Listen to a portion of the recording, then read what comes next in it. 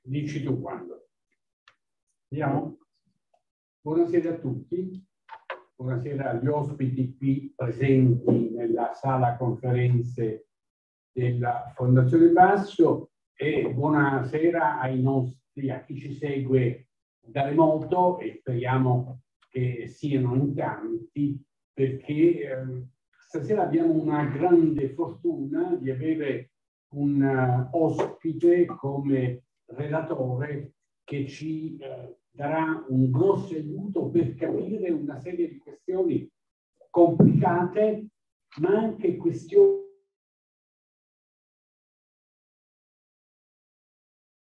quotidiane. Quando abbiamo immaginato con il professor Giorgio Resta questa serata, non avevamo proprio in mente che sarebbe capitata nei giorni in cui o nei giorni in cui esplode la polemica politica sulla scalata possibile a team.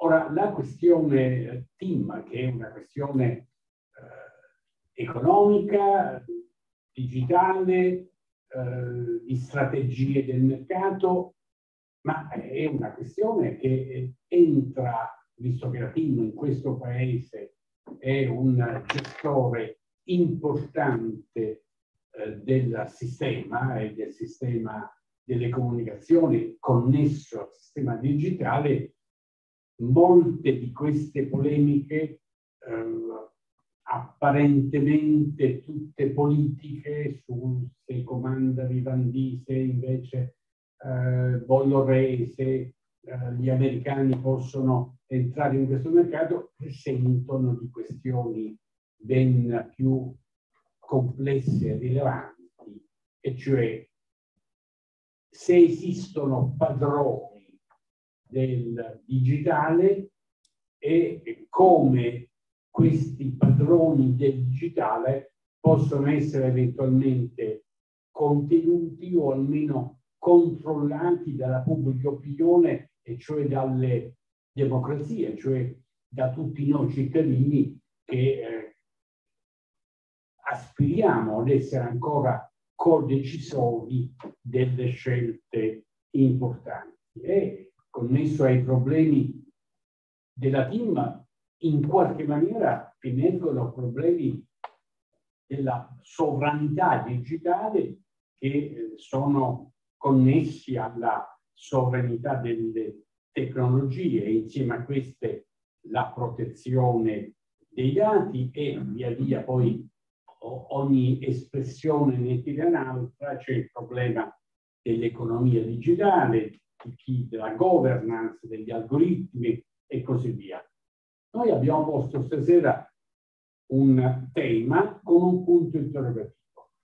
Il digitale è uno strumento di geopolitica? Ora, in realtà sarebbe quasi, non abbiamo messo il punto interrogativo, ma c'è chi non lo mette più quel punto interrogativo e apparentemente sarebbe quasi un ossimoro. Il web è nata, come dire, rompendo i territori, e cioè immaginando un territorio universale, senza confini. Ed è ciò che invece sta accadendo negli ultimi tempi soprattutto è che le competizioni fra grandi potenze non sono solo competizioni di armamenti, ma sono competizioni di tecnologie. Allora, quello che era un, un'idea che travolgeva i confini sta diventando uno strumento di competizione politica e quindi geopolitica, soprattutto tra i grandi e i potenti di questo mondo, e cioè Stati Uniti e Cina.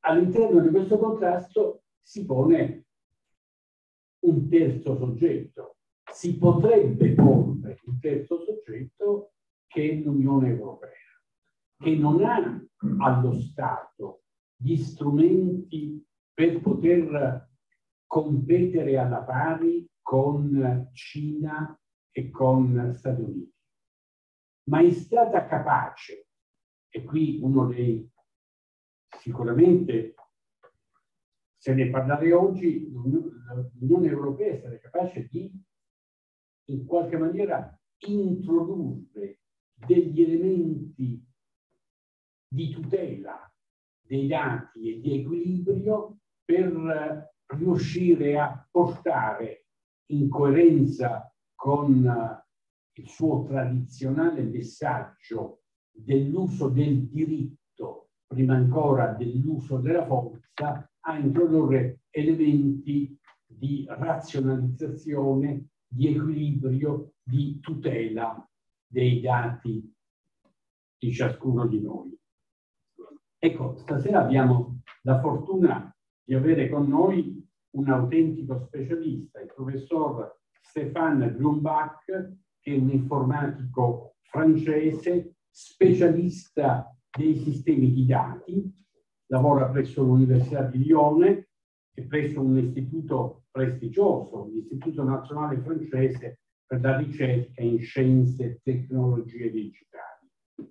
È persona ormai notissima nel campo negli addetti ai lavori, ma ciò che è importante dire per il nostro uditorio è che ha trascorso otto anni in Cina come consulente scientifico presso l'ambasciata francese e presso l'Accademia cinese delle scienze.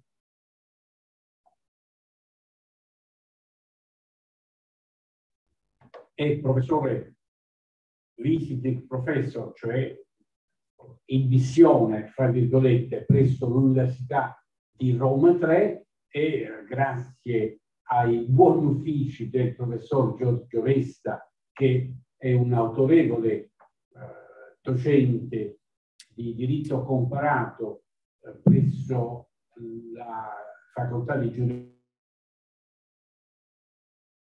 Abbiamo avuto la possibilità di avere qui stasera il professor Kubraka. I suoi interessi da essenzialmente tecnici sono evoluti verso quei temi che a noi interessano molto, questioni globali legate all'impatto dei sistemi digitali sulla società, le implicazioni appunto geopolitiche che stanno innescando squilibri e asimmetrie tra le diverse nazioni, che non sono solo un fatto tecnologico, ma sono anche un problema ideologico.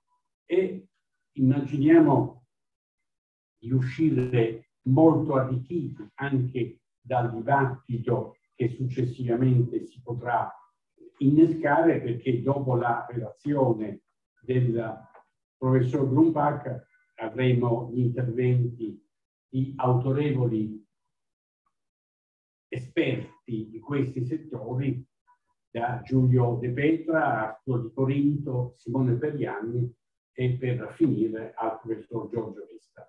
Professor Grumbach, a lei la parola. Grazie. Um, vorrei scusarmi per, per, il livello del mio italiano. E, e, e non è facile per me parlare in italiano, allora mi scusi per um, uh, cercare le parole. Allora, um, ho cominciato a lavorare su, um, sul digitale dal punto di vista uh, politica quando vivevo in Cina. E ero in Cina nel, negli anni di, della presidenza del, di Hu Jintao, um, fino a più o meno dieci anni fa. E a questo tempo era il, il tempo um, quando le grandi piattaforme erano uh, in emergenza negli Stati Uniti e anche in Cina. La Cina aveva forse due o tre anni di ritardo su, in, um, se paragoniamo con, con, gli Stati uh, Uniti. c'era una cosa che per me era molto strana. Nell'Europa si diceva che la Cina um, bloccava i sistemi della libertà, che erano i sistemi di Google, Facebook, uh, tutti i sistemi dell'America. Infatti la Cina bloccava, aveva costruito una frontiera digitale e era um, e, che protettava il paese del, del, um, di questi sistemi americani e che permetteva al, um, all'industria cinese di costruire uh, uh, sistemi nazionali. E si parla molto di, del controllo, del controllo uh, della polizia sul, sul, sulla rete e anche della censura. C'è una cosa che, che per me era veramente strana nell'Europa. E quando dico l'Europa penso alla regione, eh, gli intellettuali, i, partiti, i, giornali, i, le, anche le um, persone della, della politica. Um, il controllo che esistava in Cina esistava anche negli Stati Uniti, era conosciuto. Um, il, um, gli agenzi di, de, del, del, dell'intelligenza, del, del, uh, del come si dice, renseignement, di informazioni. informazioni um, naturalmente vanno dove le informazioni sono e um, tutta questa industria più o meno era, si, si, era, si, è sviluppata dopo uh, 9-11, dopo uh, l'anno 2001. E negli Stati Uniti c'era una priorità che era di lottare uh, contro il terrorismo e hanno sviluppato tu, tutti i sistemi e, e, particolarmente quelli della, della NSA uh, che permetteva che per, di, di um, uh, accedere ai dati. Questo era pubblicato, era, era veramente co- completamente conosciuto. Era, si poteva leggere nel Washington Post articoli sul fatto che chiaramente la NSA eh, eh, era, aveva un accesso ai dati che non era legale. Um, e si, si, sapeva anche perché c'è, uh, c'è tante um, public hearing, audizioni del, delle, delle capi dei servizi americani come la NSA CIA, eccetera, uh, in congresso, uh, dove loro dicono veramente chiaramente la necessità di accedere a questi dati. E questo non si vedeva dall'Europa. E una cosa che, che um, per me era veramente affascinante è che ci sono, ci sono tante cose nella storia dove da una regione non si vede le cose che succedono in un'altra regione. E allora c'era questo discorso della libertà uh, e, e, e, e, tutta l'ideologia del, del movimento libertariano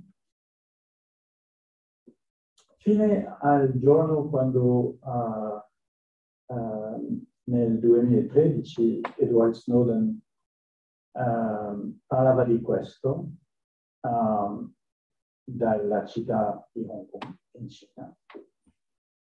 Um, e a questo punto le, l'Europa sembrava uh, scoprire tutto questo, che era... Infatti le cose che, che sono rivelate da Snowden uh, sono interessanti, ma aggiungo più di informazioni su un fatto che è conosciuto. Per esempio il budgetto della NSA, il fatto che la NSA uh, era l'agenzia internazionale che reclutava i più di uh, matematici di, di, livello molto alto, uh, eccetera. Tut, tutto questo era conosciuto. Allora, il controllo, il controllo in Cina non era diverso dal controllo in America. Infatti il controllo dell'America era molto più potente perché i sistemi dell'America erano più forti non soltanto nell'America, ma anche fuori uh, delle, delle, frontiere e, e, in tutti i paesi che erano aperti a questo sistema um, uh, digitale. Um, il digitale ha, cam ha cambiato uh, nostra vita. Intanto per me adesso non, quando i miei uh, bimbi erano studiando, non mi ricordavo come facevamo quando non c'era il motore di ricerca per accedere alla conoscenza. E, ma queste, queste piattaforme um, sono fanno uh, l'intermedio tra gente che um, uh, producono e gente che consumano uh, in tutti i campi. Il motore di ricerca um, fa la connessione tra gente che producono conoscenza e gente che vogliono accedere a queste conoscenze ma in tutti i campi dove ci sono questi uh, two-sided markets, uh, uh, le piattaforme entrano e, e, e controllano um, questi marketing. E sarà probabilmente il caso per tutti i marketing, anche quello che, so, che non sono proprio marketing perché sono pubblici, per esempio. Um, il taxi è un buon esempio di, uh, di, un market che è molto semplice con, con passeggeri e, e, e uh, autisti, e dove una compagnia o, o, diverse compagnie come Uber hanno fatto che uh, le compagnie di taxi, taxi sono diventate uh, obsolete, obsolete, obsolete um, molto uh, velocemente. Per me sarà il caso per la maggior parte delle istituzioni che esistono oggi uh, sono già obsolete, obsolete, ma non lo sanno e c'è una resistenza della società alla trasformazione uh, uh, su piattaforme. Ma chiaramente la salute, l'educazione, la fiscalità, tanti settori del, del, del, del degli servizi essenziali um, saranno portati da, da piattaforme in un futuro che potrebbe non essere molto lontano. Allora, questi, questi, queste piattaforme di fatto formano un sistema di um, ciber, cibernetica, um, di, controllo, di, controllo, globale di, um, di, un, di, un, settore o di diversi settori, ma infine uh, di uh, tutta la società e tutte le interazioni che noi uh, abbiamo con, con, il mondo esterno.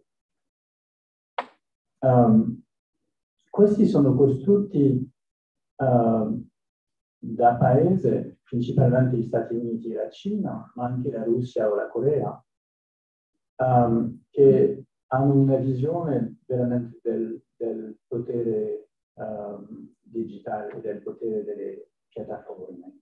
E non è, c'è una questione di, del, del mastering della tecnologia, ma c'è, c'è veramente un, un, una visione del, del potere che, da, che danno uh, le piattaforme. Un'altra cosa che, che, mi interessava molto quando ero in Cina è che dell'Europa si pensava il mondo come le democrazie dell'Occidente e di altri regimi, come la Cina. Nel campo digitale, la Cina e gli Stati Uniti sono, hanno più o meno la stessa politica. E l'Europa una politica completamente diversa. Perché gli Stati Uniti e, e la Cina hanno la stessa politica? Hanno il controllo del territorio, hanno la sovran- so- sovranità sul loro uh, territorio e gli Stati Uniti più della Cina. La Cina non aveva la sovranità senza uh, il muro digitale um, e hanno una logica di uh, costruire infrastrutture per controllare fuori di frontiera del paese il resto del mondo. E adesso sono, c'è un, un, una competizione tra Stati Uniti e Cina per uh, controllare con sistemi uh, loro tutti i paesi del, del mondo. Vorrei fare una piccola pausa e tornare un po' indietro.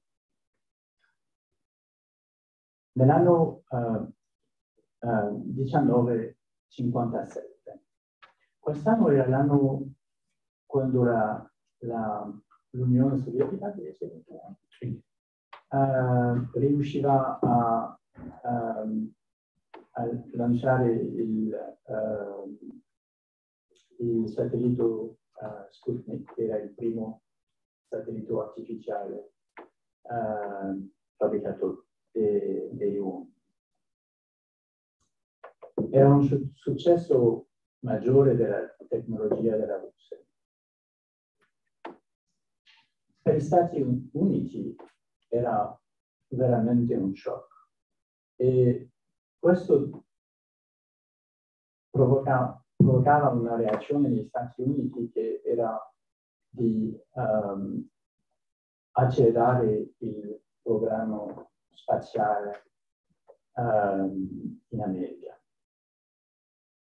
In questo programma c'era una persona che gio- giocava un ruolo uh, molto impo- importante, um, che stava Bernard von Braun. E, e ho visto nella Repubblica forse due settimane fa c'era qualcosa su Bernard Braun, non, non so perché, ma um, Bernard von Braun è, la persona che costruiva il motore uh, all'idrogeno delle, delle rockets uh, dell'America e quelli che permettevano di, di, il programma abitata sulla Luna nel, nel 96. La persona di Werner von Braun è molto interessante. Werner von Braun era, è un ingegnere geniale che, um, che è quello che ha fabbricato il V2 uh, della, della Germania nazista. Quando gli americani sono, quando gli americani e i russi hanno um, invadi, invaso uh, uh, la Germania, tutti e due avevano una priorità. Prendere subito tutti gli ingegneri che, che potrebbe essere utile per la difesa. E l'interesse era doppio, di avere questo ingegnere, ma anche di non lasciare questi ingegneri cadere nel, nel campo del, del nemico. È così che Werner von Braun, nell'operazione um, Paperclip, um, finisceva negli Stati Uniti con tanti ingegneri del programma V2 um, del, della Germania nazista. È, è, una costruzione che ha da fare con la tecnologia, la dominazione e il fatto di accedere ai um, human resources, um, risorse, risorse umane, risorse umane grazie, um, e che è molto importante la, la ragione perché per quale faccio questo ritorno nel passato è che siamo più o meno in una situazione molto simile. 60 anni dopo, nell'anno 2017, uh, la macchina di DeepMind, AlphaGo, una macchina di uh, intelligenza artificiale, um, vinceva la competizione con il campione del mondo di Go, Cotier, un cinese.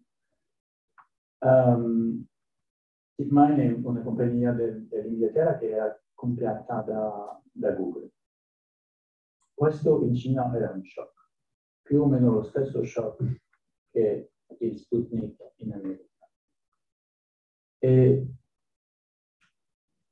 dal, dal, dal 2000, dopo il 2017 era veramente un shock, ma non, non soltanto nel, nell'elite, nel governo, ma anche tutta la popolazione pensava che era un'umiliazione. E, I progetti e i forti, nell'intelligenza artificiale, i bilanci, i bilanci. Uh, grazie, um, um, erano accelerati in Cina e dopo il ritorno anche negli Stati Uniti. Adesso c'è veramente una competizione molto forte tra Cina e, e uh, Stati Uniti sul campo del, dell'intelligenza artificiale. E come, dico, come dice Putin, quello che um, master che controlla, che controlla o che, che, che sa come uh, sviluppare l'intelligenza artificiale è quello che controllerà il mondo. E siamo in questa competizione uh, molto forte. Allora abbiamo queste piattaforme che controllano tutti i um, uh, rapporti che abbiamo con, con l'estero, con, con, la salute, con l'educazione, con um, il mercato, eccetera, eccetera, e uh, controllato di intelligenza artificiale che cambiano um, tutto il, il paesaggio.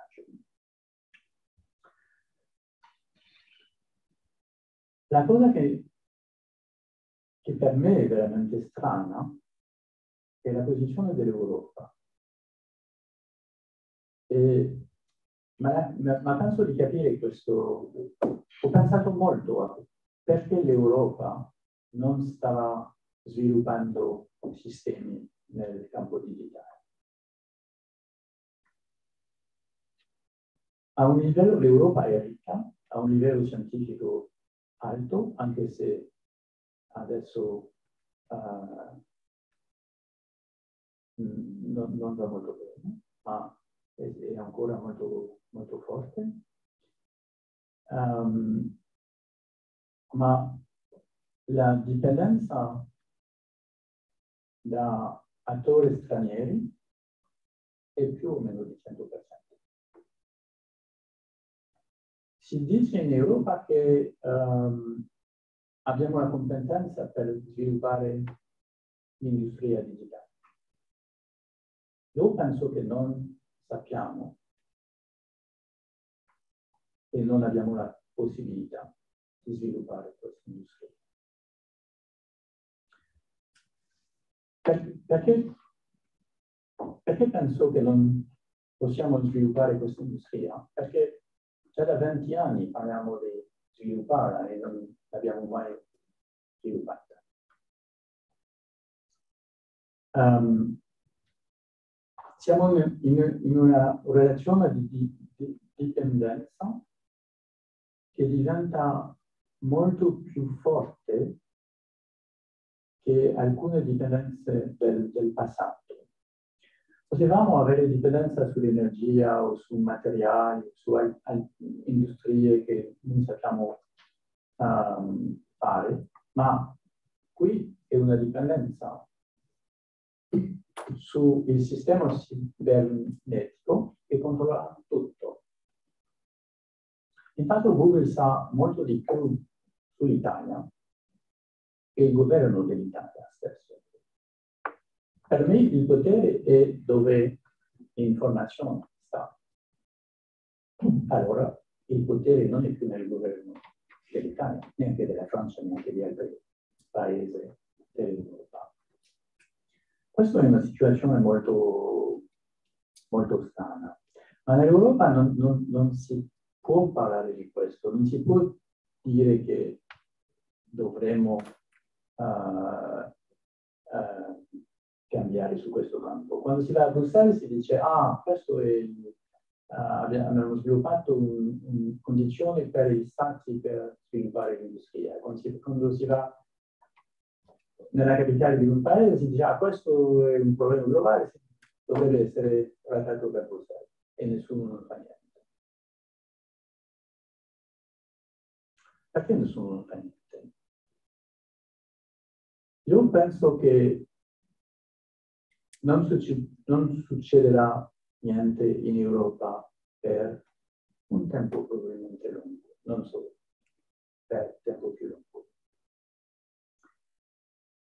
L'unica ragione che vedo per questa situazione in Europa è l'Olocausto. Perché l'Olocausto? Perché la, ragione de la regione del mondo dove i dati personali erano usati dall'amministrazione pubblica per la, la cosa uh, welfare. Mm? welfare. Welfare? Yes. Eh. Lei voleva dire per la cosa pubblica, per la gestione della cosa pubblica. No, no la regione del mondo dove i dati pubblici del personale hanno erano usati per... Hanno permesso lo sterminio. Esatto. L'olocausto. L'olocausto. E intanto l'olocausto è una cosa digitale. Um,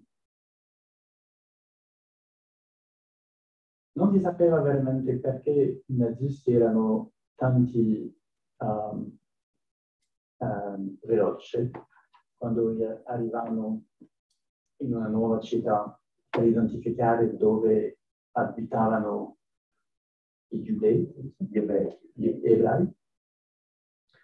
E infatti usavano le macchine del census dell'IBM. E, è interessante perché l'IBM dopo l'embargo uh, di 42 hanno uh, continuato a vendere macchine alla Germania uh, direttamente da, da Zurigo per affiliare a Zurigo della, uh, è una cosa incredibile. Il census intende il censimento? Censimento. Cen- il censimento della popolazione. Sì, E si, si vede che nell'Europa si parla della di dati personali, della vita privata, um, ma non si parla mai del governo. Il nostro interesse è, è, non è nel fatto che con questi dati si può governare un territorio e anche governare in modo remoto dall'estero, da un punto diverso del, del, non nel territorio del, dove si governa. Siamo interessati a, solamente ai diritti della gente, ma in un modo che, che se guardiamo i rapporti tra la legge e le piattaforme, per l'Europa, dal mio punto di vista, è veramente un rapporto di potere dove le piattaforme hanno il potere e l'Europa a una legge non, non va bene a, a, la Corte di Giustizia dell'Europa. uh, uh, invalida la legge e si ricomincia a di più. Sì. E non c'è veramente il potere di, uh, di controllare con la legge l'attività delle piattaforme. È come una guerra senza dove una parte non, non, non, ha, non ha, armi, non ha, uh, non ha la capacità di difesa. Ogni giorno che passa siamo più dipendenti uh, de, delle piattaforme. In un modo che un giorno forse potrebbe essere molto pericoloso. Infatti, se una piattaforma americana chiudeva il servizio, tutta l'economia dell'Europa si fermerà.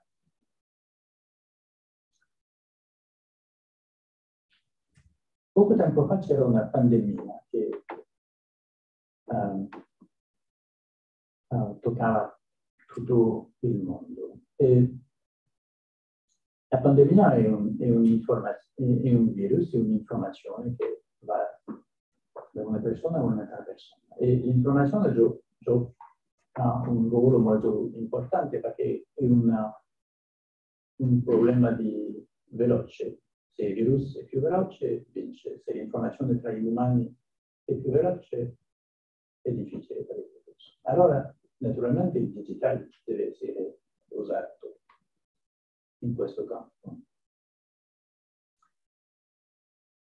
La prima um, applicazione di, di, contact tracing um, era sviluppata a, a Singapore. Mi ricordo che dopo il Ministero dell'Intero in Francia diceva che un'idea come questa applicazione era veramente contro la nostra cultura e che mai svilupperemo, svilupperemo grazie a un'applicazione di questo uh, genere. Ancora un, non è una sorpresa per me, ma era chiaro che svilupperemo un'applicazione così. E, e veramente non so perché il ministro diceva così, ma penso che perché il governo non veramente capisce il, il digitale.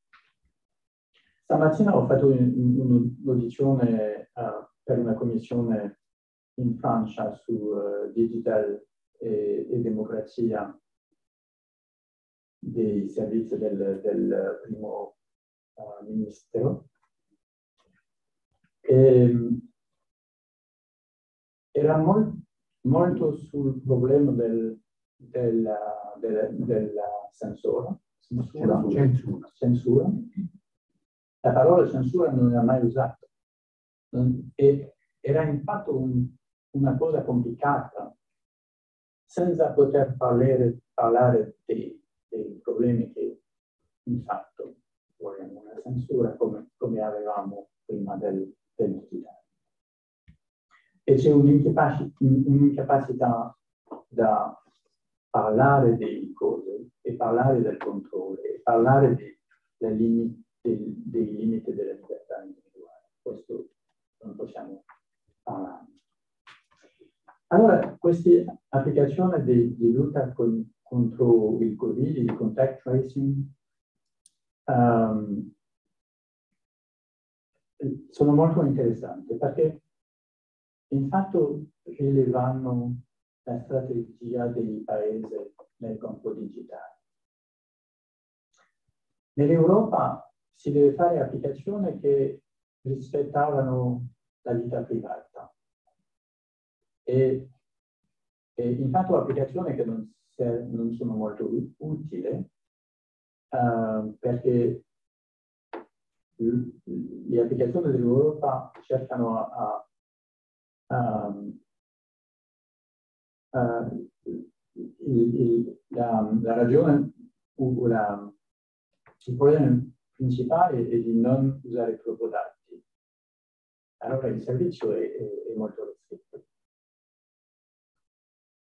Gli Stati Uniti hanno una visione del potere che danno questi sistemi.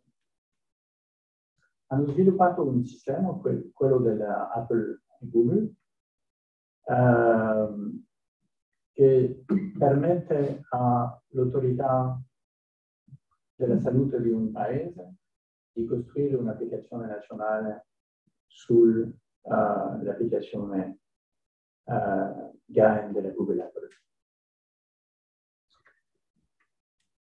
E hanno fatto una pubblicità forte. Nell'Europa all'inizio c'erano diversi paesi che volevano avere un'applicazione nazionale e, e fatte dell'amministrazione della salute. Um, e Google e Apple hanno, fanno una campagna per dire che le applicazioni che hanno sviluppato in diversi paesi dell'Europa erano, un rischio per la vita privata. E la loro applicazione naturalmente poteva, proteggeva la vita privata. E hanno fatto un, un lobbying molto intelligente. Alla fine c'è solo la Francia e l'Ungheria che hanno un'applicazione che non usa direttamente uh, il sistema dell'Apple uh, e Google ma che funziona sui sistemi della, per Google, non quello specificamente del, per, per il Covid. È una strategia molto intelligente, ha una dipendenza dell'Europa ancora più forte che nel passato. Ma si potrebbe immaginare che c'è un conflitto um, politico tra l'Europa e Stati Uniti in tempo di pandemia e che, ad esempio, si chiude il servizio di lotta contro la pandemia. E che succede? Un casino terribile nella società. È una dipendenza incredibile.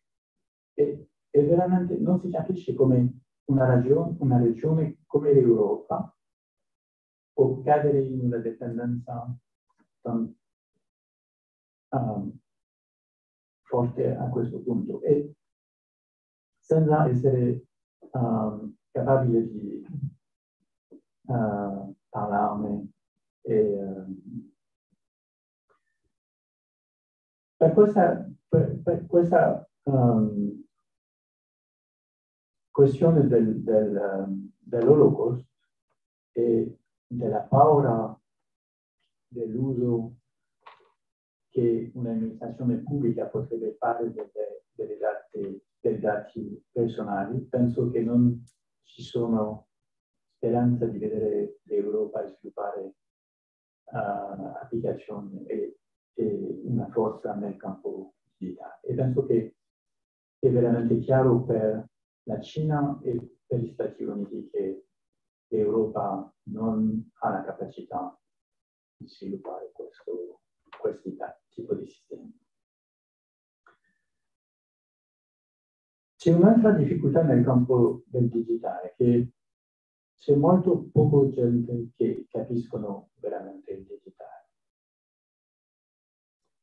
che hanno la competenza tecnica, ma il digitale non è una tecnica, il digitale è un, è un, è un pensiero economico, un po' come il capitalismo, che usa i dati, che fa l'uso il più estensivo dei dati. E si deve pensare così che ci sono dati, si deve prendere um, più dati possibile e, e usarli per, um, per applicazioni che forse non, non, non pensiamo oggi, ma che um, vengono da, dal, dal, sviluppo del, del, del, sistema globale.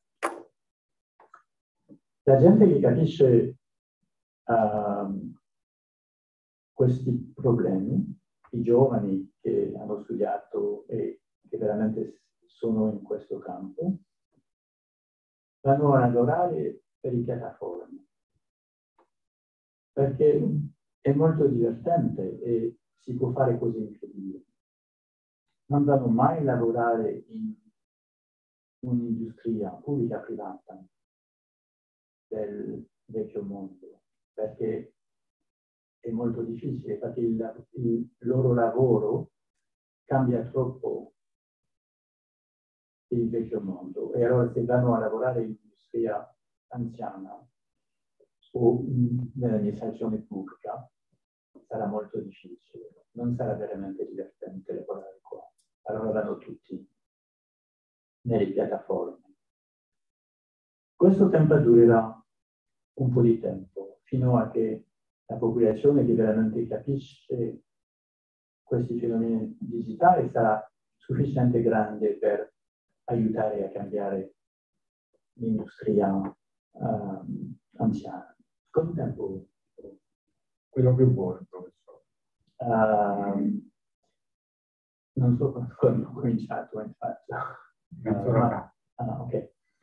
E questa fa un periodo dove um, le piattaforme vanno a svilupparsi e, um,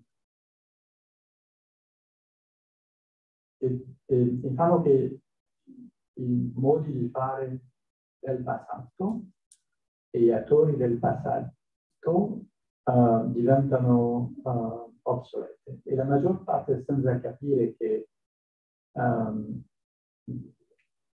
che sono forse um, uh, non, non, molto lontano nel tempo del, del periodo quando cadevano. Un'università, per esempio. Io penso che la maggior parte delle università del mondo uh, scompariranno nei 20-30 anni così di meno, uh, nei prossimi 20 anni. Infatti se guardiamo nel passato, più della metà dei giornali del mondo uh, non esistono più perché sono, non, non, non possono più, um, le, il loro business model non funziona più. In, infatti all'inizio delle piattaforme i giornali hanno pensato che um, era possibile di portare il modello anziano del giornale con, con, con um, la, il prodotto stampato sul digitale e di avere la pubblicità sul digitale e, e non più su, sulla carta stampata. Ma non è funzionato così. Infatti la pubblicità, la ricetta della, o il beneficio, beneficio della pubblicità va verso le piattaforme, non verso le giornali. E sono um, caduti. C'è qualche giornale che, che uh, hanno cambiato, uh, ma molto pochi, infatti, penso che c'è ancora tanti giornali um, che, che scomparirà, scomparirà grazie, um, nel, nel futuro. Il New York Times è, un esempio di un giornale che ha cambiato tutto il suo modello, ma era in una rivoluzione molto forte nel, nel New York Times. In, infatti hanno, c'era un rapporto segreto, segreto della, della, direzione del New York Times che, um, che è stato conosciuto della, della dei giornalisti del New York Times e questo um, ha provocato una, una, una crisi nel, nel, giornale e, e intanto non era più possibile continuare come, come nel passato. E, ma hanno cambiato tante cose. Per esempio, nel passato c'erano Infatti il problema del, del, della rete, il problema del digitale è di, di, pensare il mondo come una rete e non come un, come un spazio dove ci sono territori e, e, e dove si controlla un territorio. Infatti le, le piattaforme non sono interessate ai territori, sono interessate ai um, movimenti, i, i, i, flussi. I flussi, grazie. Flussi, flussi, flussi, i flussi.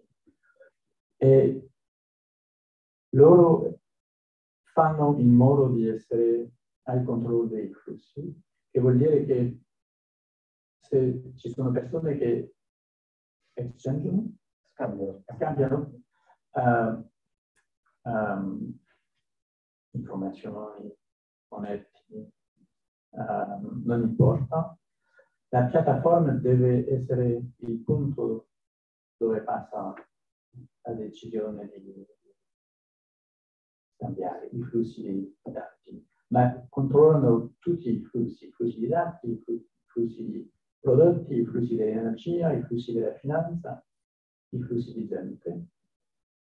Sono al controllo dei flussi, ma è, una, è, è una, un modo di capire il mondo completamente diverso, di non, non controllare un territorio, ma di essere al controllo dei flussi, soltanto dei flussi.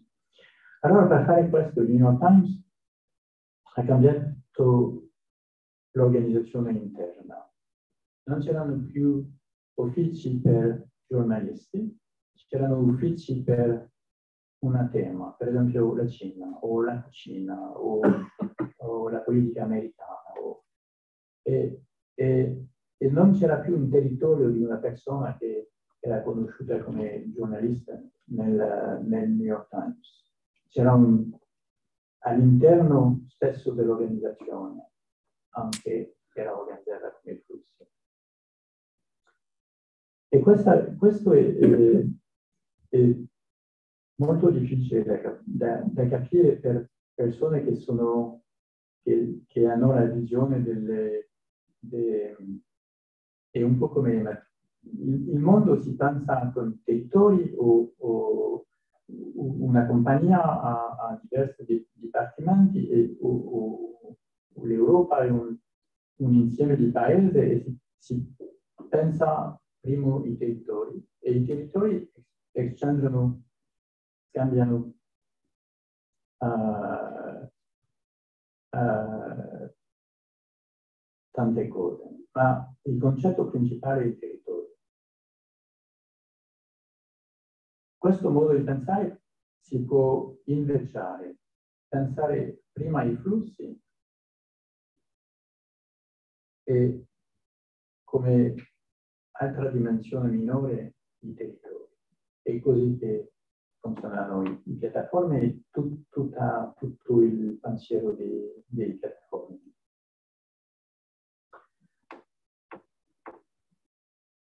Sulla Cina c'è tante, um, c'è una, una visione um, molto caricaturale del, del mondo uh, occidentale della Cina. E infatti la cosa che um, ancora, ancora una cosa che quando vivevo in Cina mi sembrava molto strana. La Cina sa di noi molto di più che noi sappiamo della Cina per ragione molto semplice che la Cina ha avuto tanti studenti che hanno studiato principalmente negli Stati Uniti ma in tutto il mondo. Sono sicuro che tutte le università dell'Italia c'erano studenti italiani, eh, studenti cinesi. Invece non è vero. Quando, quando, ero in Cina volevo fare la, la, scuola del partito, che è la scuola che fanno uh, è un po' come l'École nazionale d'amministrazione in Francia, ma non è aperto agli stranieri. All'inverso l'École nazionale d'amministrazione in Francia è aperto agli stranieri, che vuol dire che i cinesi che hanno studiato all'ENA sanno tutto della politica francese, si capiscono tutto. All'inverso la comprensione dell'Europa, della Cina, sembra più o meno come, come l'egittologia, non si può entrare, um, la maggior parte del, dell'attività politica non è pubblica, non si può accedere a questo e allora si deve fare congettura sul fatto che c'è. E questa è una di, di differenza veramente di sapere incredibile. C'è un'altra cosa in Cina che um, per me è, è, è molto impressionante. In un, in un comitato di direzione di un'amministrazione, un ministero, un'università, tutte le strutture di un, di un livello non troppo basso in Cina um, sono governate da un gruppo di gente che hanno um, uh, ottenuto diploma di tante università della, del, del, del, mondo. Vuol dire che forse ci sono 12 persone, uh, forse 5 o, o, o, o, la metà hanno,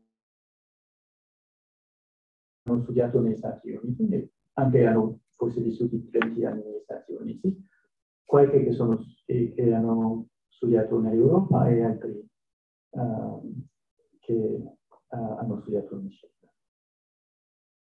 Il livello del dialogo tra queste gente che hanno vissuto in diverse parti del mondo, studiati in università molto diverse, è molto più alto che il livello della stessa cosa nell'Europa dove forse, per esempio, l'università francese, la maggior parte della...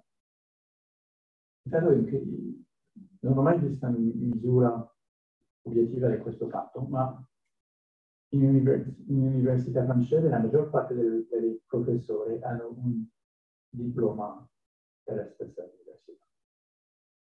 Posto che in Italia per riconoscione è un po' più ci sono efforti per, per evitare questo, questo, problema. Ma non si, si vede la Cina come, come, come in un modo molto negativo, ma in fatto si sa poco della Cina e, e, e il livello del, del pensiero del, del governo è molto alto. Un punto che è difficile oggi è che la, la Cina e gli Stati Uniti, che sono i due poteri, sono molto implicati.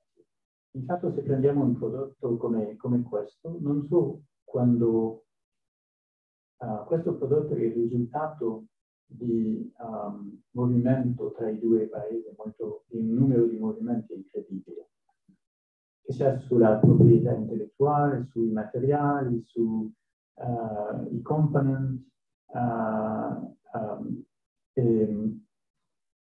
e, questo fa che um, la Cina e gli Stati Uniti non, possano, non, poss non possono andare uh, in guerra oggi. Ma la politica oggi è di, di disentangle separare, separare uh, la dipendenza tra i due paesi nel campo della tecnologia e fanno tutti e due forti, molto forti. Questo veramente cambiato, um, ha cominciato um, veramente uh, in, in, modo aperto nel, nell'inizio del mandato dell'amministrazione Trump e quella del Stati ma sul mandato di, di, dell'amministrazione Biden si è rinforzato e, e la, per esempio la NTTs, che è la lista ufficiale dei compagnie stranieri con quali gli americani non possono lavorare, è molto più lunga oggi. E anche il discorso di Biden è molto più aggressivo verso la Cina che quello, quello di Trump. E, e in Cina la stessa, stessa cosa, è una cosa, uh, penso, terribile, quest, quest, questa uh, uh, riduzione della dipendenza tecnologica, tra i due paesi.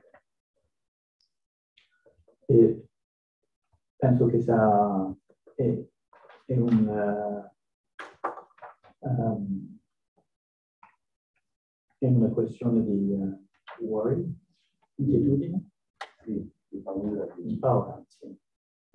um, allora è difficile per, per tutti i, due paesi la, cambia molto la, l'atmosfera e, e, la libertà. Um, e guardiamo più verso la Cina, intanto eh, il movimento degli Stati Uniti è anche molto, molto, molto forte. Um, io farei una proposta, professore. Lei sta parlando, non è per il nostro tempo, è per lei, sta parlando da oltre 50 minuti e okay. si nota negli ultimi 10 minuti, come dire,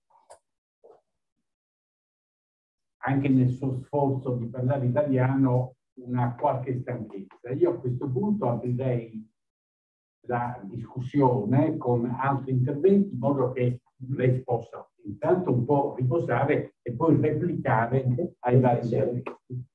E da chi cominciamo? Da, da Arturo. Arturo.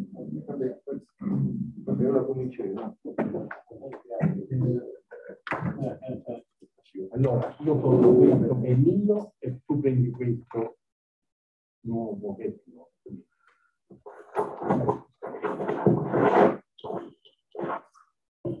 Giulio De Petra. Bene, grazie. È stato interessantissimo anche seguire il, il percorso del, eh, dove ci hai portato diciamo, con, con, la, con la tua presentazione.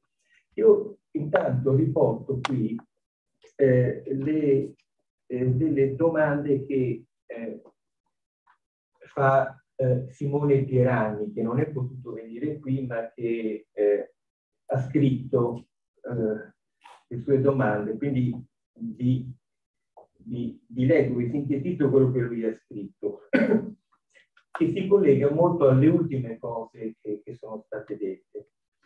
Eh, si, Simone fa un, un, un, elenco di sviluppi tecnologici cinesi che sono eh, il progetto New IT, New IT, che dovrebbe sostituire il modello TCP-IP. Eh, le, tutta la normativa sul, sulla sicurezza dei, dei dati, quindi della regolamentazione e, e, e, e, poi il fatto che in Cina si parla di metaverso molto prima che ne, che ne parlasse eh, Zuckerberg e poi che si sta sviluppando addirittura una blockchain con caratteristiche cinesi. Allora, uno dice, ma allora questo significa che eh, eh, si, si, si, sta ah, scusate, poi anche il discorso delle monete per cui lo Stato è intervenuto pesantemente su Alipata e Tencent. E dice, stiamo andando verso i cosiddetti giardini recintati, cioè due sistemi indipendenti completamente separati anche a livello hardware, oltre che software. Eh? Uno in Occidente e uno in Cina. L'Europa eh, come abbiamo detto. Cioè, questa era il, la, la, la, domanda di, di e, poi la seconda domanda era, mentre prima si è assistito all'uso da parte della Cina di tecnologie occidentali per il controllo, probabilmente die, dieci anni fa era così, eh, ora è, è possibile che tecnologie sviluppate in Cina possano diventare interessanti per eh, lo sviluppo del controllo in questa simmetria analogia che a me sembra una delle delle cose più interessanti del, della, della le, lezione che, che, che, è stata fatta. A, questo, a queste due domande di Simone aggiungo una considerazione e una domanda mia, a mia volta ed è in questo, eh, in questo confronto tra, tra, i due modelli. Eh, noi abbiamo parlato del, del governo dei, dei, dei dati, della disponibilità dei dati come elemento strategico fondamentale di potere. È possibile che entrino in questo confronto quelli che sono poco considerati, che sono gli elementi materiali dell'industria digitale. Faccio degli esempi. E, e le, le, materie rare con cui si costruiscono i dispositivi,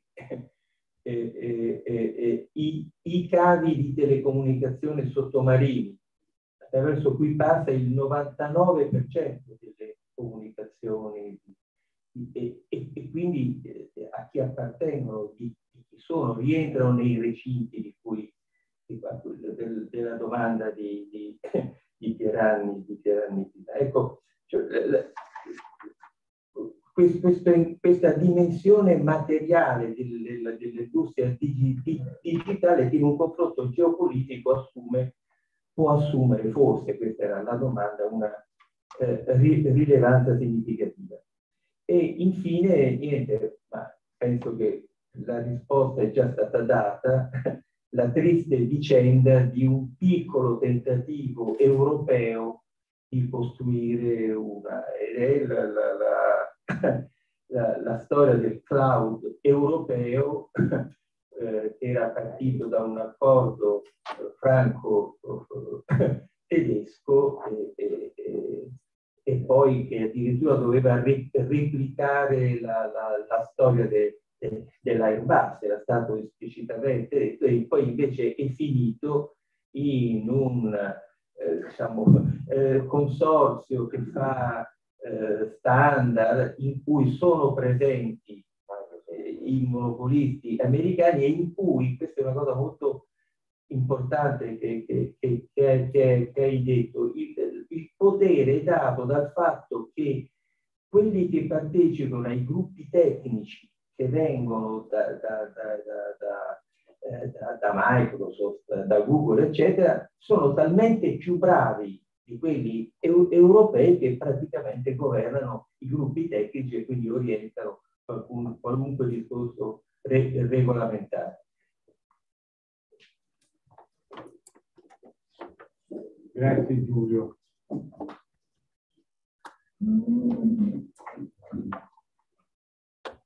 Uh,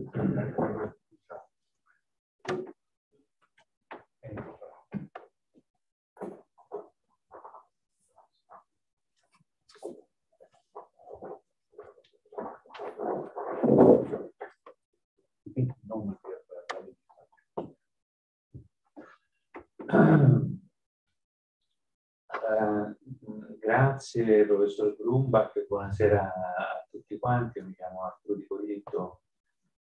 Insegno identità digitale, privacy e cybersecurity della Sapienza di Roma, sono un giornalista, ho scritto un po' di libri su questi temi, di cui in realtà ho, ho scritto per 26 anni per le maggiori testate nazionali italiane, con il tentativo di alzare la consapevolezza esattamente sulle tematiche che il professore citava.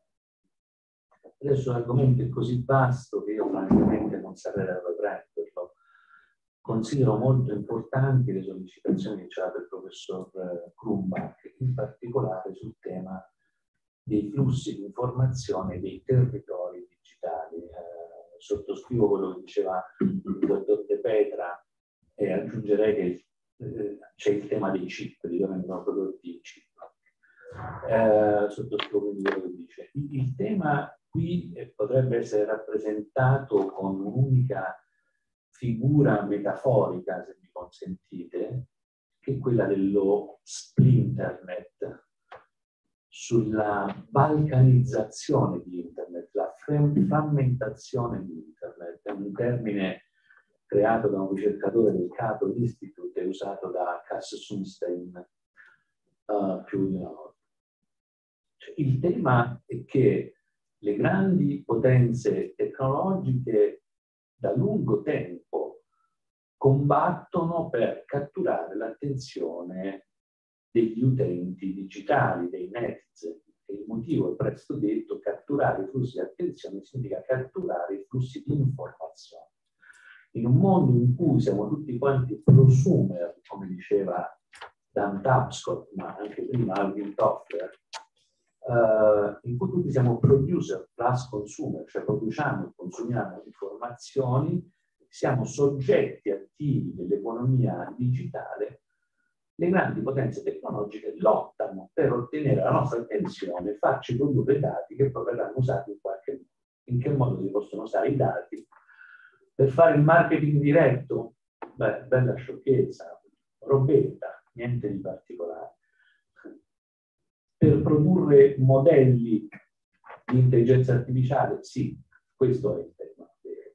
Cioè, I dati devono essere prodotti e utilizzati per attestare le macchine che eh, serviranno a sostituire gli uomini delle attività eh, quotidiane, quelle di basso come di alto livello, per controllare appunto l'economia eh, attuale e quella futura. Quindi il tema mi sembra che si possa rappresentare eh, come una uh, affermazione, come la lotta per l'affermazione di un modello di sovranità digitale che è diverso tra gli Stati Uniti, l'Europa e la Cina, che sono i tre grandi attori in campo. C'è un quarto attore che ha avuto una stagione fortunata perché è stato capace di hackerare il sistema di produzione delle calamite dell'attenzione americana. Cioè, I russi sono stati capaci di hackerare il soft power americano declinato attraverso le piattaforme tecnologiche che noi eh, chiamiamo social network. È la dottrina Gerasimo, adesso non, non la spieghiamo, presumo che la sappiamo tutti quanti. Quindi il, il tema è questo confronto tra le superpotenze tecnologiche eh, a decidere chi è che deve poter controllare i dati e cosa ci si fa con questi dati. L'Europa ha una posizione abbastanza buona dal mio punto di vista. L'Europa dice che grazie appunto a leggi ombrello come la GDPR e come la NIS e la NIS 2, l'Europa dice noi dobbiamo proteggere la privacy dei nostri cittadini perché? Perché come diceva una persona che è cara a tutti noi in questa stanza, visto che siamo una votazione in basso, come diceva Stefano Rodotà, la privacy la precondizione per esercitare altri diritti. Quindi l'Europa con la GDPR e la NIS prova a fare questo. Perché c'entra la NIS? È l'autodeterminazione informativa, cioè la privacy va intesa come la capacità di decidere autonomamente all'interno di un quadro regolamentare cosa viene fatto con i miei dati, con i dati che produco, non semplicemente i dati personali, che esistono soltanto perché io esisto, ma quelli che produco interagendo nello spazio digitale. Allo stesso tempo ci deve essere un apparato regolatorio che protegge questi dati da un uso sbagliato. La cybersecurity, la sicurezza informatica serve a proteggere i dati che noi produciamo.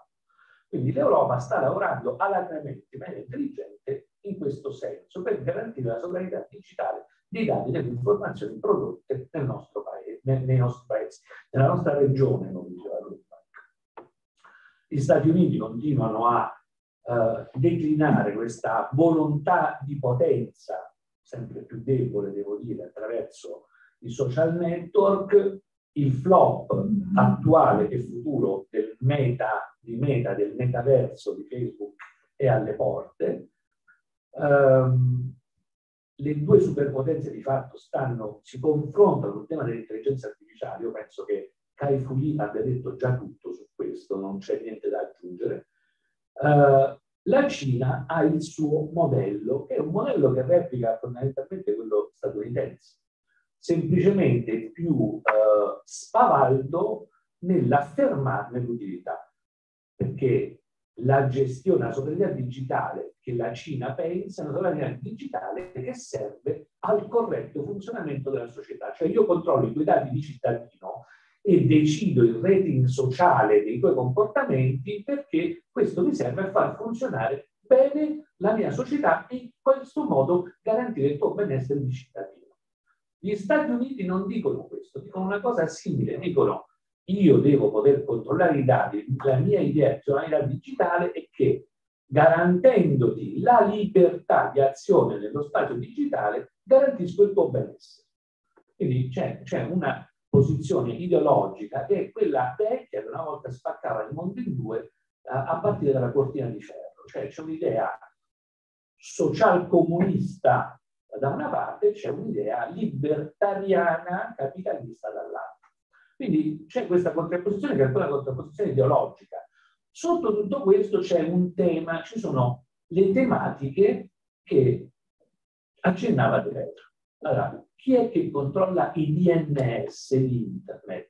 Il DNS root system è ancora in mano agli Stati Uniti d'America, i DNS stanno in America, in Europa e in Giappone. Sono ridondati, ma stanno lì. Chi è che controlla le terre rare? Fondamentalmente la Cina che controlla la maggior parte delle terre rare in questo momento, anche se Trump ha detto compriamoci la Groenlandia perché ci andiamo a prendere le terre rare. Chi controlla i chip? Otto aziende, dalle più importanti, sono 15 aziende nel mondo che fanno i chip. Otto stanno in America, cinque stanno tra Taiwan e, e, e, e la Corea del Sud e un paio stanno in Europa. Quindi rispetto a queste tematiche viene declinato poi tutto quello che ci costruisci sopra, quindi l'evoluzione tecnologica che dipende dalla circolazione di dati e informazioni internet, dalla produzione di dispositivi e quindi dall'utilizzo delle informazioni a diversi punti di vista, a diverse politiche. Su queste politiche l'Europa sta facendo poco effettivamente, però professor Lumba il problema è quello europeo di sempre, cioè è il carattere è il fatto che abbiamo una classe politica squalificata, incapace e collusa. Questo è il motivo principale, è che i nostri paesi sono divorati dalla corruzione e dal fatto che appunto per questi motivi non hanno una visione e non sono capaci di rendersi indipendenti dalle grandi superpotenze. Stare sotto l'ombrello alleato degli Stati Uniti d'America ci fa troppo comodo e per questo consegneremo le chiavi dei dati strategici del nostro paese agli americani con il cloud nazionale che loro dicono però affideranno a delle aziende italiane, ma di fatto che useranno tecnologia americana. Dall'altra parte siamo dipendenti dai nuovi affari che possiamo fare con la Cina. In Italia la gente si sta svendendo alla Cina che fa grandi regali ogni volta che riesce a vincere un contratto in Italia. A chi firma questi contratti arrivano dei regali enormi.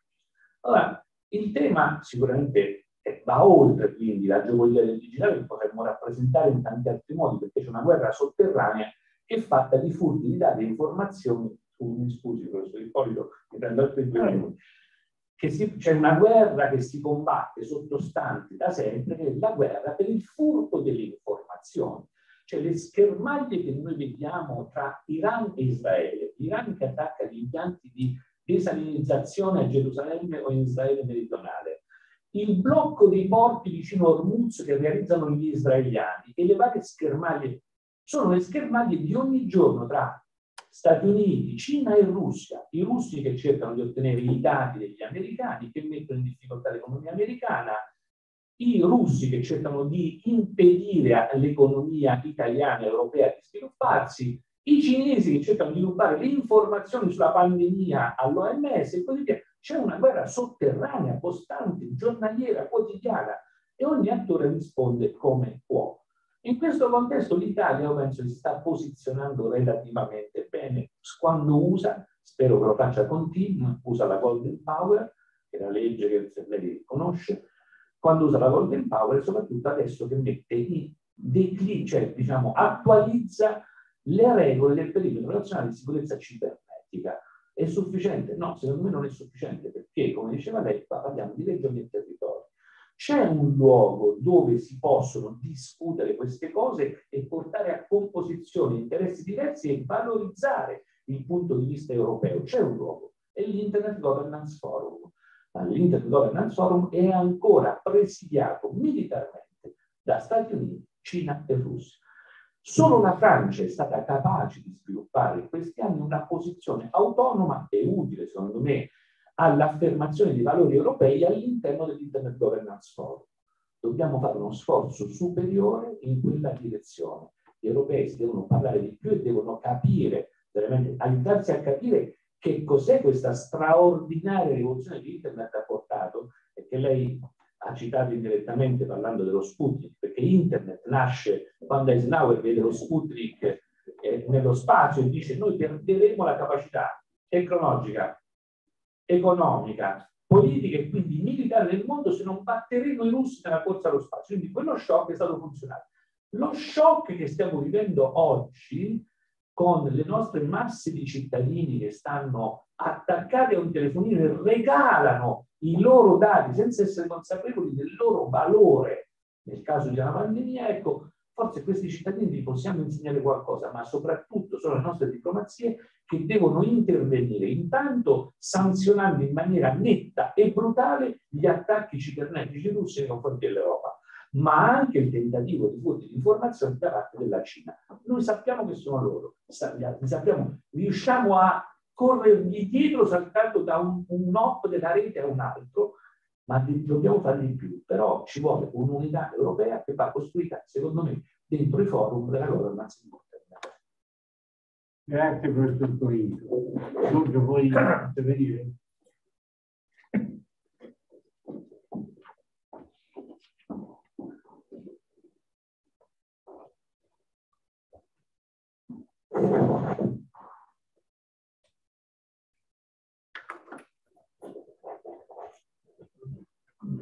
Grazie Giorgio Resti, Università Roma 3, oggi Fondazione Basso. Eh, intervengo solo rapidamente, visto che l'ora è tarda, eh, innanzitutto per ringraziare il professor Grumbach che ci ha dedicato del tempo e, e, forse anche per sottolineare quanto fosse opportuna questa conversazione odierna per noi, per la Fondazione, per chi intende affrontare questi temi eh, pensando e ragionando.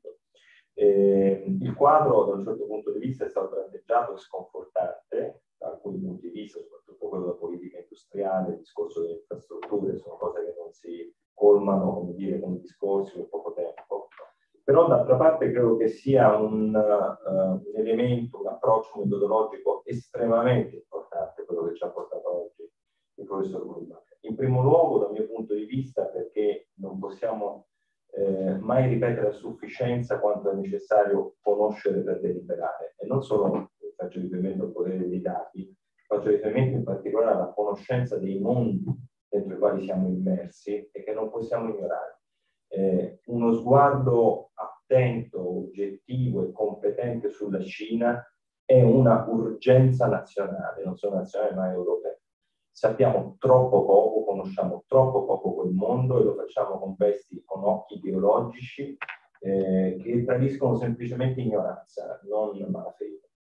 Eh, e quindi è estremamente importante, io credo, avere persone che, come Simone Pieranni, anche il suo ultimo libro sulla Cina nuova, quello precedente, da uno spaccato della società cinese, eh, Stefano Gumba e molti altri, eh, ma bisogna in qualche modo anche squarciare il velo delle narrazioni mediatiche che non riescono a controllare. Quindi questo penso che va dato atto di una, uh, un'opera estremamente utile fatta uh, oggi pomeriggio.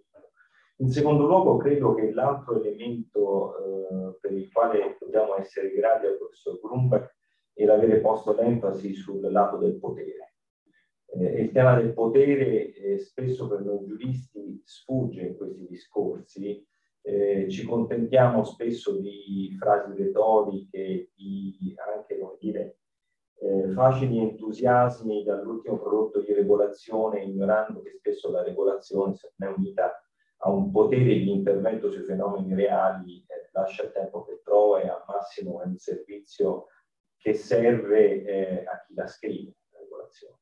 Faccio solo un esempio, l'High Level Group, Artificial Intelligence, costituito dalla Commissione europea, eh, gran parte dei componenti erano rappresentati dall'industria, eh, benché si facesse appunto ampio, ampia enfasi, ampio uso del, dei temi dell'etica, dell'etica delle scienze e via dicendo, ma poi le scelte fatte da molti punti di vista sono scelte compromissorie che segnano appunto l'esigenza di eh, trovare un po' di realismo politico.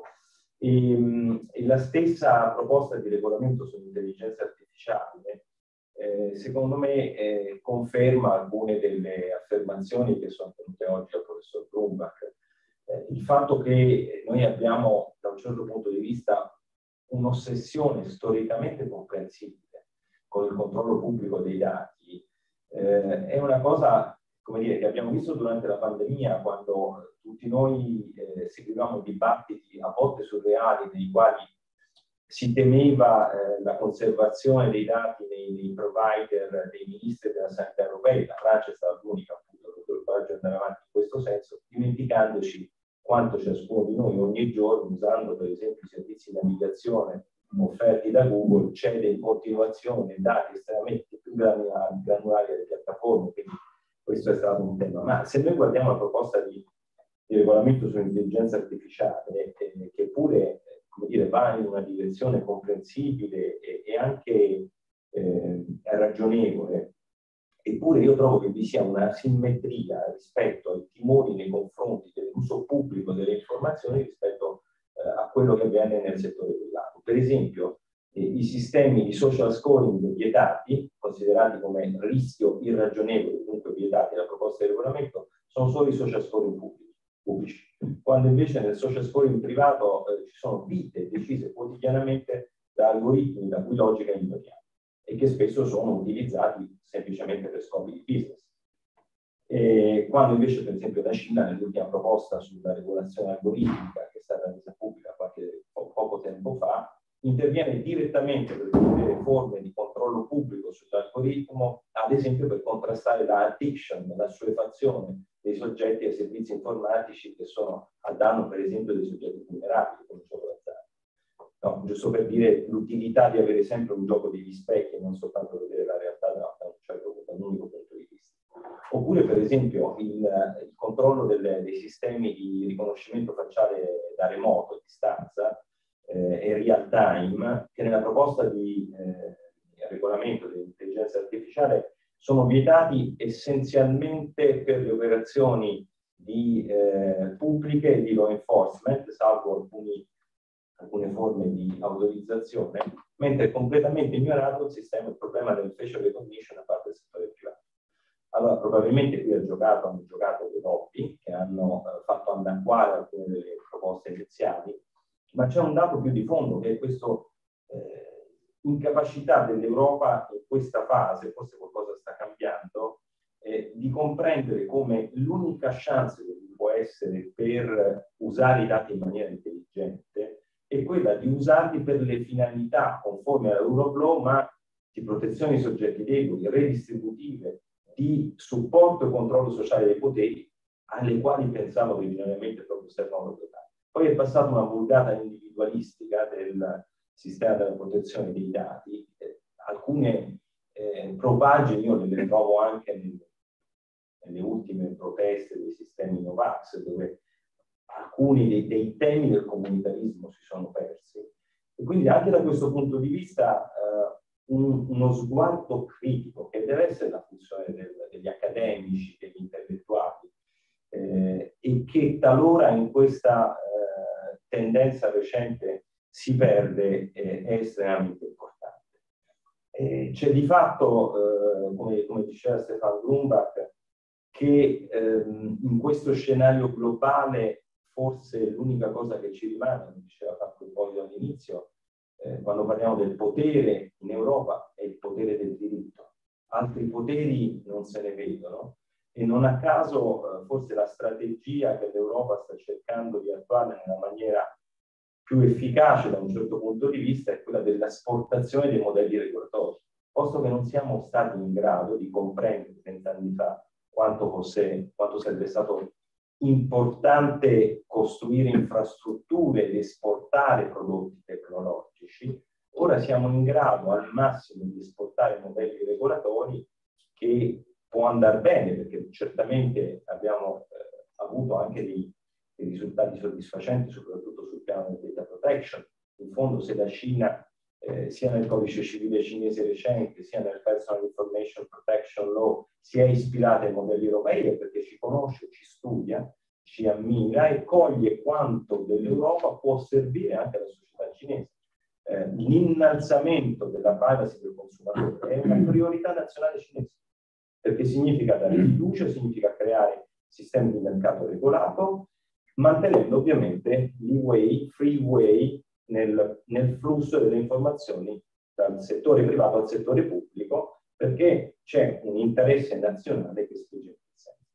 Gli Stati Uniti, con questo poi chiudo perché potremmo parlare delle ore, eh, in questo momento eh, stanno tentando una miscela eh, che in fondo non è nuova, ma che si riproduce nel digitale, tra un modello di tipo liberista all'interno con la paura fondamentale e la paura di introdurre regolazioni che abbiano un overreach e che possano inibire lo sviluppo del mercato perché ancora oggi non sappiamo cosa succederà.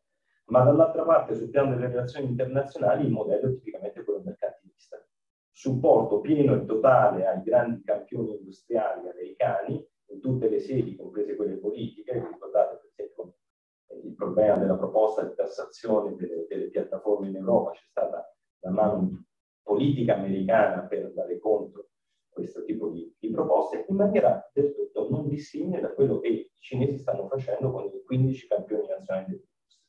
Dunque, eh, su un piano comparatistico, io credo che ragionare sugli elementi di contiguità tra il modello americano e quello cinese è altrettanto importante di non perdere di vista le peculiarità dell'approccio europeo, che certamente rispetto alla Cina insistono sul beneficio dei modelli regolatori nei confronti dell'individuo e di una idea di dignità dell'individuo, quando invece il centro dell'interesse, come diceva anche Arturo di Corinto poco fa, del sistema regolatorio cinese è quello della coesione sociale, dell'armonia della società e di una posizione diciamo, di leadership, e questa parola è assente dai discorsi europei, è presente in quella americana e in quella eh, cinese. Questo è lo scenario nel quale ci muoviamo. Come giuristi io credo che noi dobbiamo prestare molta più attenzione a quello che ci dicono economisti e tecnologi, perché non sempre una regolazione che rispecchia principi e regole produce i risultati aspettati. Spesso può produrre un risultato opposto, se al profilo delle regole non prestiamo attenzione al profilo del potere della realtà.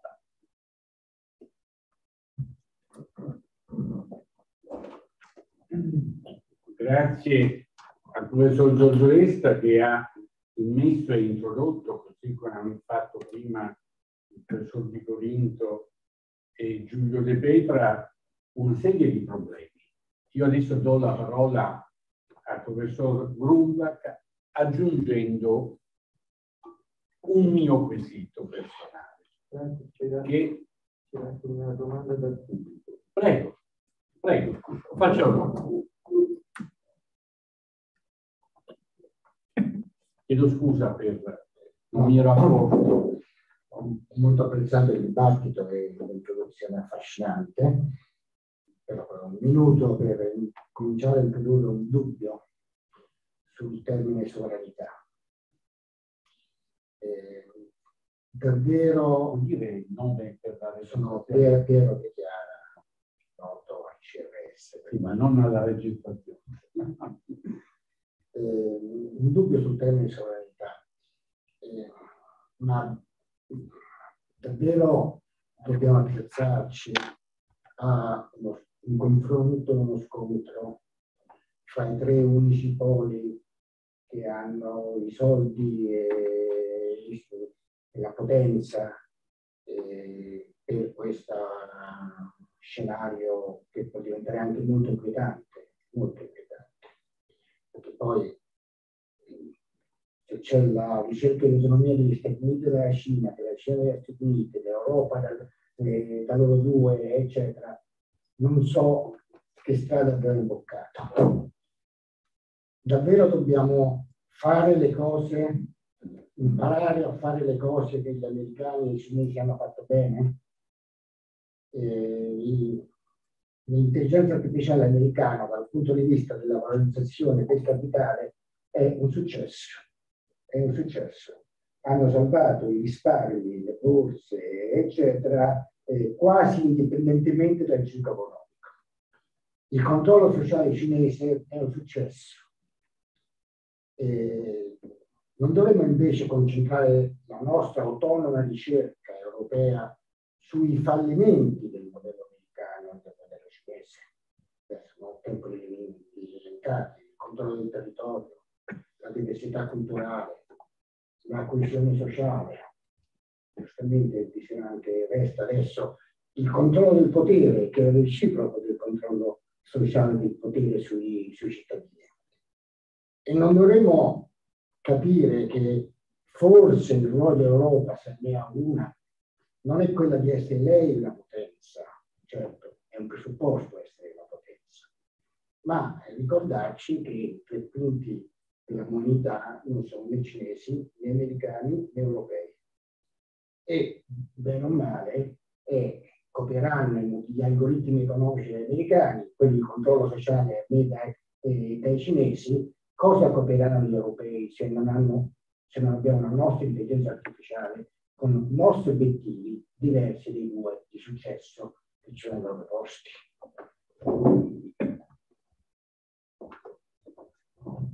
ringrazio davvero Richiara perché ha esplicitato con arricchimento il quesito che stavo ponendo a questo gruppo. E cioè abbiamo capito che, resto il nostro titolo già andava in quella direzione, tecnologia e digitale come strumento di geopolitica. Abbiamo messo il punto di domanda solo per prudenza. Abbiamo capito che è una questione di potere. Per molti anni le questioni di potere hanno tutto incentrato sugli armamenti. Oggi è di pari importanza la tecnologia e l'intelligenza artificiale proprio per ciò che ci ha illustrato il professor Grunberg. Io ho più di qualche dubbio sulla capacità dell'Europa, qui vado nella direzione di Chiara, di recuperare il tempo perso. E peraltro, essendo un europeista convinto, con riferimento più ai valori che alle politiche dell'Europa, io non vorrei che nel mondo di oggi e quello futuro scomparisse un punto di possibile, potenziale equilibrio fra superpotenze. E quale potrebbe essere il ruolo dell'Europa, posto che l'Europa e l'Unione Europea riesca a risolvere i problemi di una sua identità politica che superi gli attuali sovranismi, che non sono solo quelli della destra francese o della destra italiana, ma sono quelli dell'Ungheria, della Polonia, eh, di alcune tentazioni olandesi e così via. Ma se dovessimo arrivare finalmente ad una Europa che sviluppi l'impostazione che viene da Spinelli, a conclusione o nel mezzo della guerra. Io vedrei un ruolo dell'Europa coerente con il meglio che ha prodotto negli ultimi 200 anni, salvando il peggio, che è quello della prima metà del Novecento, che si è concluso appunto con l'Olocausto. E qual è il meglio? Il meglio è la cultura è il diritto, è la protezione delle persone, al di là dell'individualismo americano. E allora la capacità regolatoria che l'Europa ha prospettato, ha realizzato con contraddizioni e con cadute e che prospetta al mondo, può diventare un nuovo modello di riferimento nel sintetizzare il modello americano e il modello cinese. Un attimo fa, Giorgio Resta implicitamente faceva riferimento ai valori liberali o liberisti e ai valori cosiddetti asiatici. Non si discute più negli ultimi tempi, ma per un decennio abbiamo molto discusso dei valori asiatici. Beh, I valori europei sono un punto di equilibrio che potrebbe, visto che il mondo non è fatto tutto di americani e di cinesi, potrebbe l'Europa diventare un punto di riferimento per metà del mondo, quella metà del mondo che vive di dipendenza o del modello cinese o del potere cinese o del potere americano, ma che non vorrebbe essere assimilata. Ecco, questa possibilità, secondo lei, è reale e sussiste o è una illusione di eh, europeisti superati dai tempi che non riescono a vedere che la brutalità del potere ha bisogno più, come dire, di Machiavelli e del suo realismo politico che non invece delle illusioni o delle utopie di Spinelli del 1943. Grazie, una domanda molto di, difficile. Um, la, la, la, questione della politica è molto importante e mi sembra che non si parla più di politica. Si parla di gestione, ma non di politica. E, ehm, se mi ricordo del, del, di due pagine um,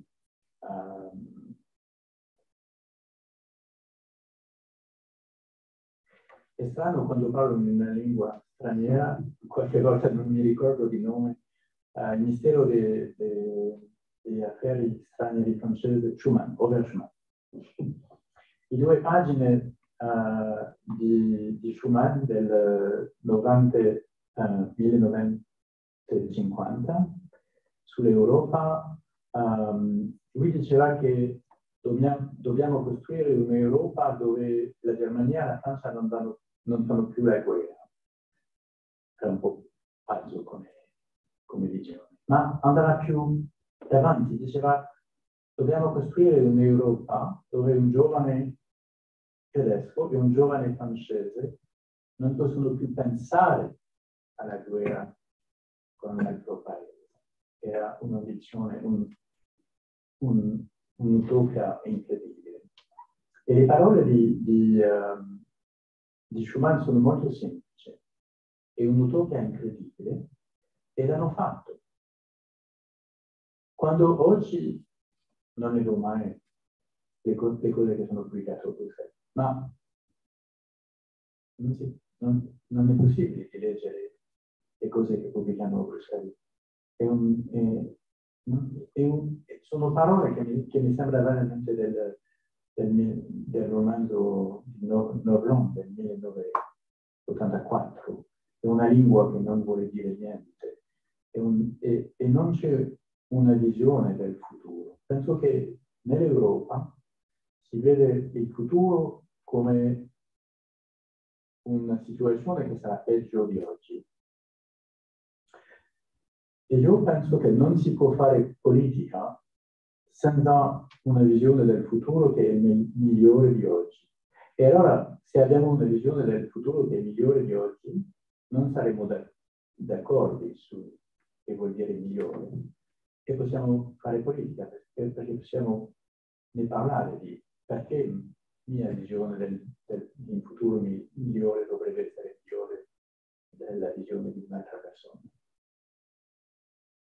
E una cosa che all'inizio quando vivevo in Cina avevo questa cultura della democrazia dell'Europa e c'è una cosa che mi sembrava molto strana, che il, la discussione politica in Cina era molto più interessante, molto più fondamentale, era, negli anni così dopo, c'era molto più di libertà che oggi. Di oggi. ma era molto più interessante, molto più fondamentale che la discussione in Europa. E mi ricordo per esempio di, di, di, di c'era una grande discussione su um, la, la, pena di morte, sì. uh, e, e, che usata um, uh, in Cina frequentemente, frequentemente, ma la discussione era, era molto interessante, molto profonda. Ehm, penso che l'Europa non, non, ha una visione del futuro. E allora senza visione del futuro, senza un'utopia, non si può fare politica. E allora non si fa politica, si scrive cose che non hanno senso e che sono la gestione come, come si poteva fare una legge che, che diceva che la, la realtà era così Uh, c'è un deputato della, della, Francia che diceva il migliore sarebbe di, di fare una legge che, che, dice che la Cina non esiste, così non ci saranno più problemi con, con, con la Cina. E, so, trovo che, che, non abbiamo utopia e non possiamo parlare della realtà. E questo è, è, è veramente difficile per, per fare politica sul campo digitale, naturalmente su tutti, tutti i campi. Allora, perché, perché la situazione è così nell'Europa? Io ho il um, sentimento, sentimento sensazione. sensazione che c'era, un po', c'era qualcosa di, di, di, di ipocrita, nella, nelle valori dell'Europa, perché erano sviluppati in un tempo dove la, per qualche paese de, dell'Europa um, era, erano sviluppando valori ma nel stesso tempo avevamo una politica coloniale che era molto brutale.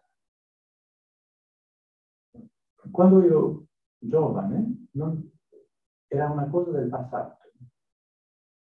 E si poteva studiare, ma non era più veramente un problema di oggi. Ma oggi è un topico che, che, che è presente. E è presente all'interno negli Stati Uniti come nella Francia come altri paesi dell'Europa. Um, è, presente anche in altri paesi e particolarmente nei paesi che uh, sono stati brutalmente um, occupati. E penso che ci sono molte ragioni per, per, per, um, molte ragioni perché questo, questo problema è diventata molto importante nel, nel, dibattito, nel, nel dibattito, dibattito. dibattito, politico e non, non, era così, diciamo, 30 anni fa. Un cambiamento è che il potere non è più, non è più il potere dell'Occidente e anche il potere di un paese che, che, che è dell'Oriente. E, e, e, questo cambia tutto il modello, perché la, la Russia, l'Europa del, del, dell'Oest e, e, gli Stati Uniti sono tutti paesi della, della, del, della stessa cultura, se guardiamo le altre parti del mondo.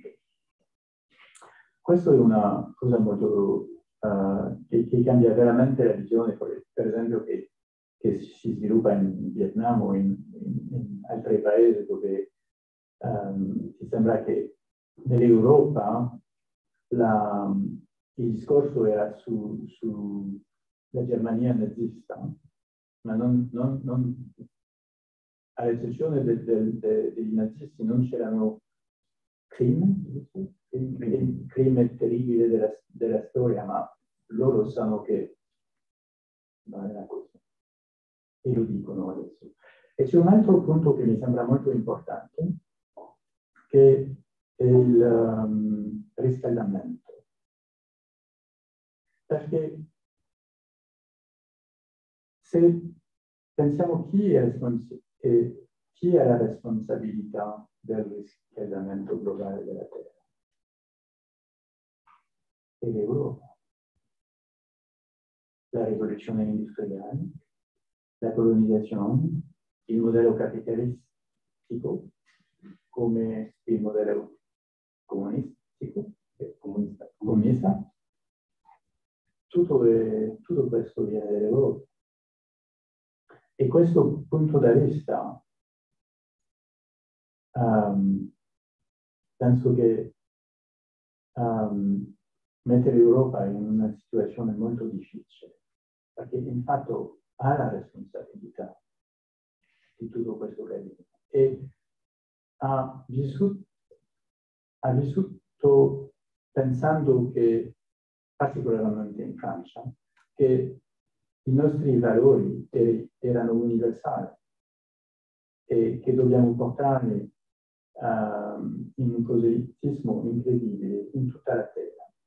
Io ho tanti amici in Cina che non possono um, supportare, sopportare il discorso sui diritti umani, no, non perché non, uh, non, sono, non, non amano diritti, ma perché il discorso dell'Europa è verso la Cina è come se la Cina è veramente un paese di barbari, che non hanno valori, che non hanno tradizioni, eccetera, eccetera. È un discorso molto aggressivo e che tanti intellettuali della Cina che, am che amano l'Europa, non parlo degli altri, um, uh, non, non, non, possono um, supportare. Allora penso che oggi, io penso che oggi la situazione dell'Europa è molto difficile perché non, non, i valori universali era, erano quelli della colonizzazione, sono, sono, uh, sono deboli infatti e quando il potere era veramente nel nostro campo, allora si poteva, si poteva ignorare questi, aspetti, adesso non si può più ignorare non si può più ignorare questi punti all'intero dove c'è un casino con, con uh, uh, politico su, su, su, questi problemi, ma anche all'estero dove sono, c'è molto più di aggressività.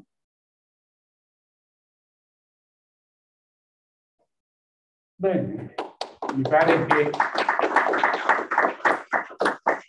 mi pare che questo, questa sottolineatura finale di questo Bloomberg, che malgrado il passaggio dei decenni, l'Unione Europea, il cambiamento del mondo, un vizio antico, tipicamente europeo, sia ancora attuale, che è l'etnocentrismo, e cioè che la nostra tendenza a portare i nostri valori come valori universali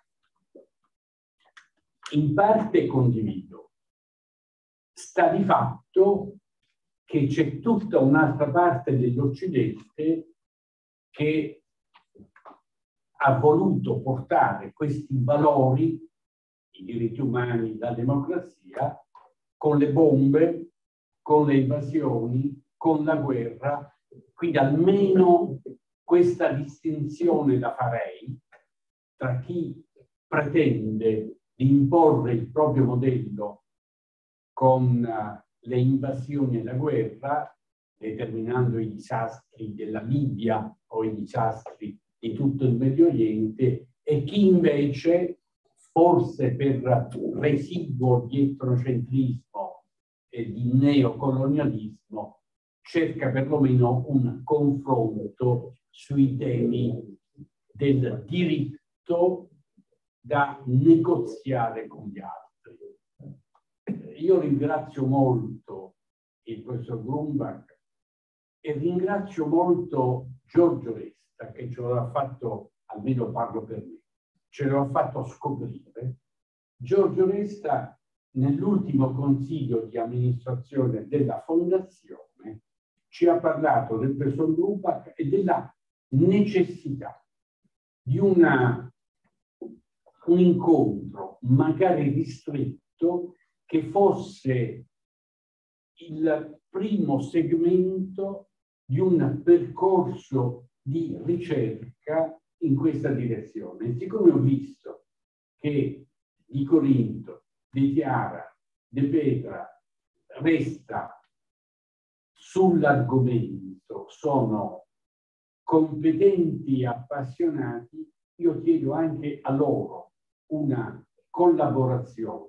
Mettete insieme anche le forze che stanno in questo palazzo, la Fondazione Basso e il CRS, anche con la scuola del digitale diretto, la scuola critica del digitale diretto da Giulio De Petra, di esplorare insieme una prosecuzione di questo confronto che abbia come finalità, non dico una acculturazione, ma una informazione un po' più eh, larga dei temi che questa sera abbiamo cominciato a esplorare. Grazie, grazie a voi e insieme vedremo quale sarà il prossimo appuntamento. Grazie per il tempo.